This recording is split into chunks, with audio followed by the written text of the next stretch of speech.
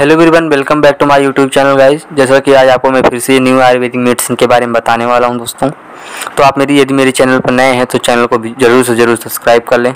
Video को like करें तथा बेल आइकन को भी प्रेस कर दें, जिससे आने वाली हर एक आयुर्वेदिक मेडिसिन की जानकारी आपको प्रॉपर समय समय पर मिलती रहे दोस्तों। वीडियो को ज़्यादा से ज़्यादा शेयर करें ताकि अन्य लोगों के पास भी आयुर्वेदिक मेडिसिन की जानकारी पहुँच सके। यदि आपको भी कोई प्रॉब्लम हो रही हो, किसी बीमारी से परेशान है दोस्तों तो आप कमेंट करके ज़रूर आयुर्वेदिक मेडिसिन की जानकारी ले सकते हैं हमसे दोस्तों। आप कमेंट करें, आपको ज़रूर रिप्लाई मिलेगा दोस्तों। तो वीडियो में बने रहें दोस्तों कि आप भी एनीमिया जैसे रोगों से परेशान हैं, खून की कमी है आपको और पाचन तंत्र सही नहीं है। आपको बार बार चक्कर आ रहा है, जी में चल रहा है। तो दोस्तों, आज उसके लिए बहुत ही अच्छी दवाई लेकर हम आए हैं। आपको ऐसी दवा के बारे में बताने वाले हैं जो आयुर्वेद में बहुत ही, एनीमिया के लिए बहुत ही कारगर सिद्ध हुई है दोस्तों।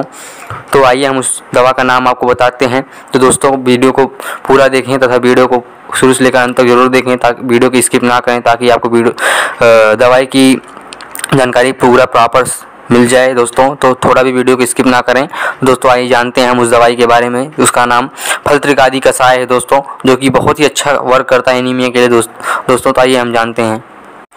फल त्रिकादी का साहेब, जो कि बहुत ही अच्छा एनीमिया रोग के लिए बहुत ही अच्छा वर्क करता है, जिसको खून की कमी हो गई है। उसको बहुत ही अच्छा काम करता है, जिसको लीवर में कोई प्रॉब्लम और आ गया हो दोस्तों तो उसके लिए बहुत अच्छा काम करता है। फल त्रिकादी को कैसे लेना आइए बताते हैं। इसको पाँच से दस एम रोज़ सुबह शाम खाना खाने के बाद पानी के साथ लेना है दोस्तों। तो एनीमिया से यदि आप परेशान हैं दोस्तों तो आइए हम जानते हैं इस क्या क्या लक्षण हो सकते हैं। आपको त्वचा आपकी त्वचा का रंग पीला हो जाएगा, आपको चक्कर जैसा आएगा, थकान महसूस होगा, आपका सिर घूमना शुरू हो जाएगा, दिल की धड़कनों का कम होना या तेज़ होना भी हो सकता है दोस्तों। तो एनीमिया के ये सब लक्षण हैं दोस्तों। यदि आप इससे परेशान हैं तो फलत्रिकादि कसाय का ज़रूर से ज़रूर यूज़ करें दोस्तों। आइए हम जानते हैं फलत्रिकादि कसाय किस प्रकार से काम करता है। फलत्रिकादि कसाय लीवर के लीवर के फ़ंक्शन को जाकर बहुत ही अच्छा करता है और रक्त के थक्के को नियंत्रित करता है, रक्त से विषाणुओं को हटाता है, जिसकी वजह से आपका डाइजेशन अच्छा हो जाएगा। डाइजेशन अच्छा होने की वजह से आपको एनीमिया की प्रॉब्लम से धीरे धीरे धीरे धीरे मुक्ति मिलने लगेगी दोस्तों। आपका एनीमिया धीरे धीरे ठीक होने लगेगा। आइए जानते हैं फल त्रिकादि कसाय में क्या क्या कंटेंट डाला गया है, वो भी जानते हैं, आपको बताते हैं। इसमें आंवला डाला गया है, हरड़ा है, बहेड़ा है, गुड़ची है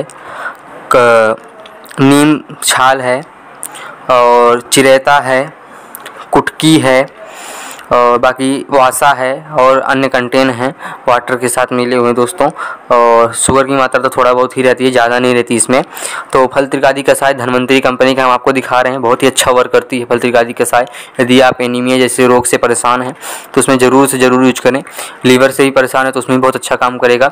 आपका जी मचल रहा है, चक्कर आ रहा है, भूख की कमी हो गई हो उसमें भी फल त्रिकादी कसाय बहुत ही अच्छा वर्क करता है। आपको सुबह शाम कंटिन्यू लेना है दोस्तों। कम से कम दो से तीन महीने लेने पर आपको बेटर एकदम बेटर से बेटर रिज़ल्ट प्राप्त हो जाएगा दोस्तों। आपको कंटिन्यू लेना, खाना खाने के बाद लेना है इसको। खाना खाने के पहले भी ले सकते हैं, लेकिन कुछ ना कुछ खाए रहें तभी इसको लें।